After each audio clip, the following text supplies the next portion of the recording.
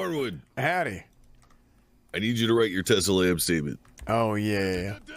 I mean, is that not enough? Just honestly, Uh, Tessa? eh, she's gonna want to take it to court. Te- Yeah. Tessa Tessa stabbed me in the throat. Unfortunately, Cornwood, we're not going to have time to finish our conversation. Okay. Maybe we will. What? No. Goodbye. Tessa. Tried to kill No, me. she didn't. Yeah, Tessa Lamb. Yeah. Yeah, I got. I got. What? Yeah. So I got kidnapped by some folks. Put your fucking hands up. Oh my god. Put your fucking hands up. Drop drop your gun and radio now. who uh, honestly nice guys. I mean, they were they. Were, I mean, they weren't. Now they took my shit, but they they, they didn't keep it. I, I don't know. They, they they made me get rid of my shit, I should say. And then uh, they kidnapped me. I'm like, okay, here we go. Tessa Lamb Yes. stabbed you. Yeah. So these guys, you know, they were good to me. They were nice to me. They were not rude or whatever. You know, they were being aggressive, but I think it was more so just so I, you know, I don't I don't shoot a some bitch because obviously, you know, it's, this is me we're talking about. Of course, I will. You know, I swore to protect her. She was uh Baas's daughter. And look at you now. As a proud father, I have a daughter who's just so good. I love you. I love you. Well, she's a fucking psycho criminal now. Holy Now, shit. There Baas's is daughter, I just no remembered. way. I just remembered. Holy shit! Oh my. Oh, I- Cornwood, keep keep going. I'm writing your statement down. Okay. She told me the Tessa Lamb that you knew died on the on the day Sam Baas died. There was a time when Game Warden Tessa Lamb would have taken you to court Uh huh. and possibly even taking your job for what I observed at the mayor's wedding. But that girl, Game Warden Tessa Lamb, she died the same day Sam Baas did. Oh yeah, that's true. She Yeah, told me yeah. that. And Oh, she yeah, said she went said crazy. that Tessa Lamb is no longer and and she she's like a new person or some shit. Oh my lord. I complete Oh my god. Okay, so things are um She told you that at the stabbing. yes. Okay, go on, please. And and I was I saw I was I get excited when I see Tessa because I, I love Tessa. She you know she's great. You know she's she'd always been good to me. I always been good to her, and she was she was a fantastic you know officer into eventually being a game warden. Or I mean she was a ranger the whole time, but you know ranger into being a game warden, all that. I was I was kind of confused because she took us or the kidnappers took me to where the mayor uh, had his wedding reception. You thinking? Oh my lord! This, place, this place is beautiful, by the way. We came up here for a wedding reception because uh, I brought a dolphin to the wedding reception. That's right. Okay, so I brought a dolphin to the wedding reception, Oh no! and it was I was Okay. a rescue. I said this is a you know courtesy of the Little Alamo Sheriff's Office, and you know here we Yeah. go. Is a dolphin. that We're you know Hold on, pause, pause. okay. Uh, Knight, why did you say, "Oh no"? You even remember Finny? Yeah, he was a rescue. A rescue. Yeah, he was washed up ashore years ago. Oh, Yeah, okay. I got one. I got one. So it's lying then.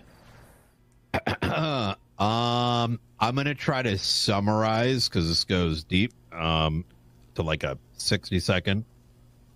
Uh, about five and a half years ago, about six years now, multiple bombs were being planted all around Los Santos, uh, tied to a place called Rooster's Rest. Uh, it- it- let's just say like gas station gets blown up, the gang gets pissed off, they start attacking quote unquote civilians. War breaks loose between these two entities. One which is pretty, let's just say, in the shadow, but mostly civilians, and another that's like a street gang. Uh, It turns into rocket firing, bombs going off The for hell? like roughly two to three weeks, and Walking away. uh, seventy percent of the police department doesn't really give a fuck. Like they don't see the patterns, they don't get, give a shit about civilian lives, et cetera, et cetera. What the Things shit? continue to escalate. Give us one. Oh shit! Okay. Snipers! Snipers! Two two officers down. We're not sure what's coming from. where, Probably where, nor- where, where? northeast, northeast, northeast. came from the uh, because now we've just got literally just people are shitting rockets out of their ass, They came down the ridge to the west of the checkpoints. like just coming from God knows where. We then had a the police department uh, blown up in like Paleto. We had Mission Row PD, the building that used to stand here, have a bomb planted on it, and literally, I, I, I want you to imagine this: twenty officers on duty, bomb is planted at the ranger station. It's ticking. We know it's there, and all the officers stood there watching as the suspect who planted the bomb drove off as one lone fresh officer that just got graduated from so then uh, literally no one gives a shit like is is the best way i can describe it. Things are going off. People don't want to respond to it because they're like oh this is gonna not lead to anything. We start and we i mean uh the detective unit at the time mostly primarily consisting of five officers. We had a lot of information already that let us through phone subpoena and phone triangulations uh, tie together 60 days worth of different phone logs to uncover GPS locations for every incident, subsequently le- leading us to find a handful of suspects. Those same suspects then planted a bomb at Mission Row PD, in which Sam Baas uh, attempted to defuse it for some reason. Are you fucking crazy? What are you, Bison leave? I told you. Bison leave now! I told you.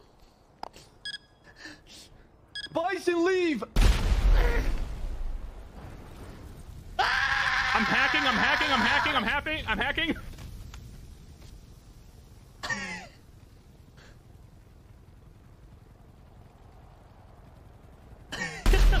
what the fuck? and then died. Yeah, I'm not kidding. It's a permo. Best ending I can I can think of honestly with K. It's over. Commissioner Baas is dead. We never won in court because affirmative defense wasn't really a thing.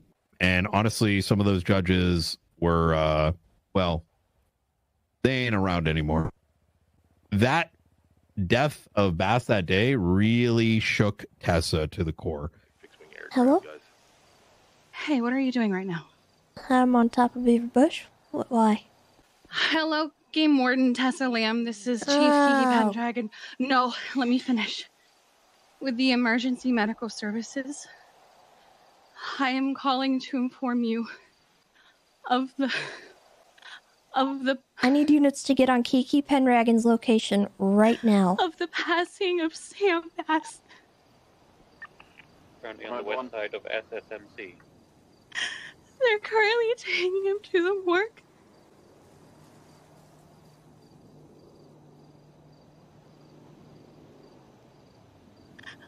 I'm so sorry. I remember she stopped coming on duty.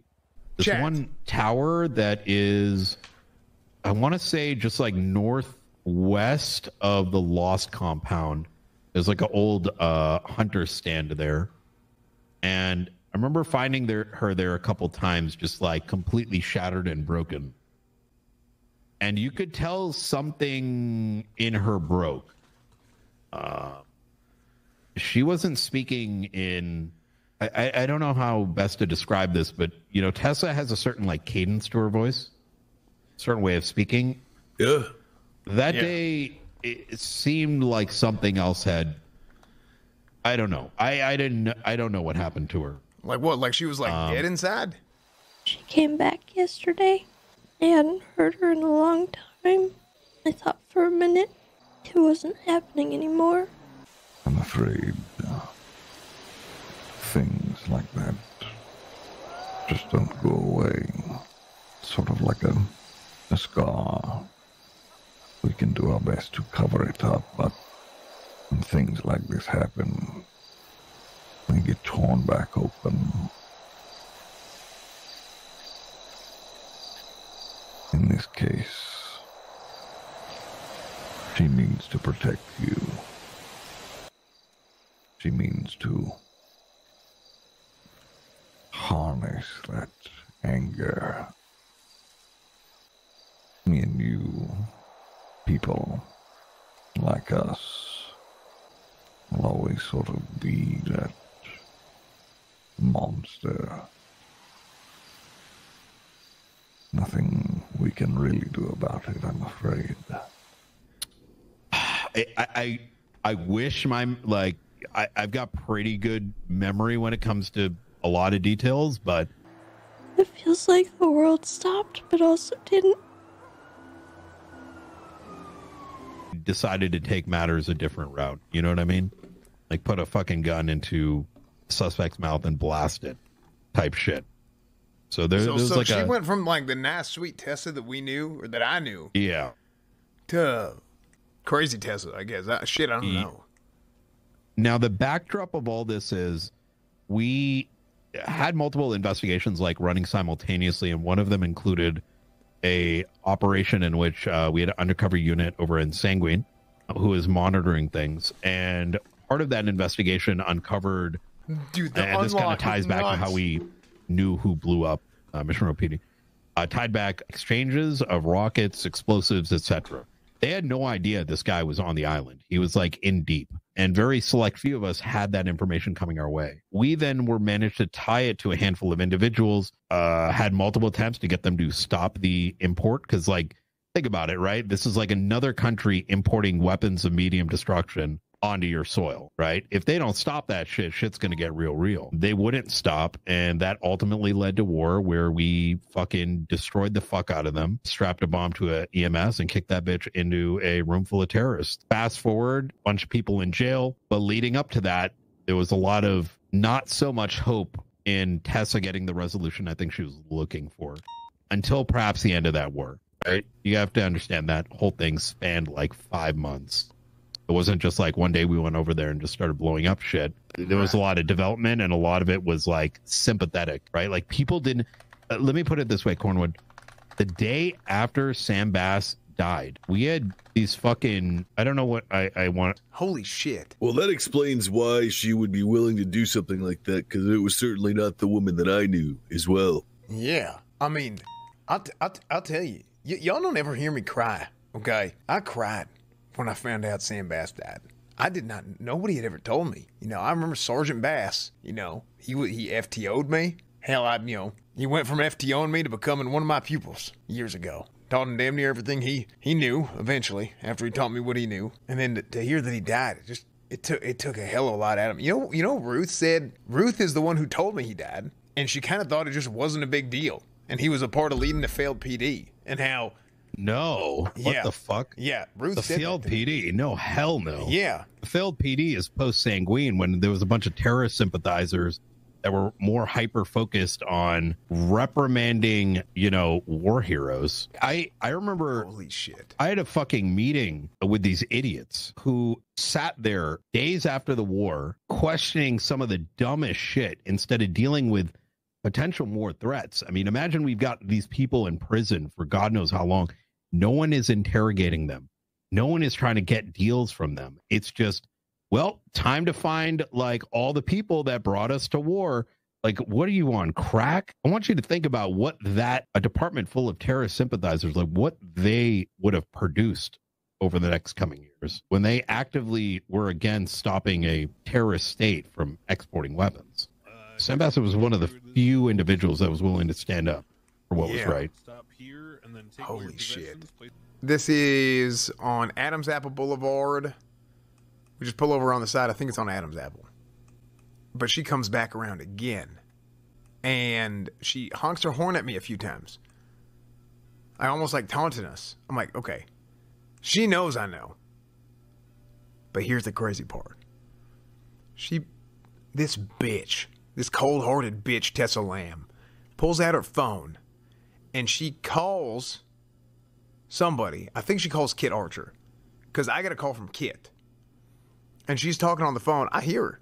She's talking about how, I mean, it's broken, right? I can only hear part of it from, from a distance. But she's saying about how, oh, she, there's a police officer following her, and police officers had been uh, weird towards her that day. Uh, again, I think it was the day after, maybe two days after.